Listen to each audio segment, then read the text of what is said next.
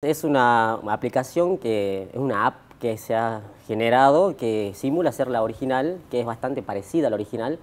Eh, lo que hace es simular compras o transferencias más, más que nada eh, y generar comprobantes de pago. Esto más que nada para tratar de engañar a, los comerciantes ¿no? En las compras. En este sentido, bueno, lo que, tienen que hacer los comercios, los comerciantes que venden los productos es cuando reciben transferencias, ya sea por Mercado Pago, porque esta aplicación es una aplicación trucha que, se ha creado obviamente para los, ciberdelincuentes, para que mm, ellos generen comprobantes falsos, para que muestren al comerciante, mira, ya te transferí, esta es la plata, no te llega por problemas del banco. Entonces el comerciante dice, bueno, anda tranquilo con la mercadería, ya me va a llegar pero esta es una aplicación que genera esos comprobantes falsos. Entonces, eh, lo que se recomienda es no liberar la mercadería mientras tanto no tengamos la transferencia hecha de nuestra cuenta. Generalmente, cuando vamos a comprar, nosotros nos dicen, mira, escaneame el código QR y yo te pago. Y esta aplicación lo que hace es no, no, se puede por QR.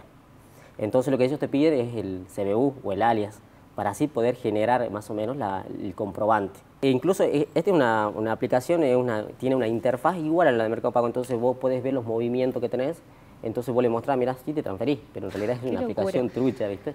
Entonces se recomienda eso de que no eh, liberen la mercadería, mientras tanto ellos no verifiquen lo que es la, la transferencia que le ha hecho la persona que le fue a comprar.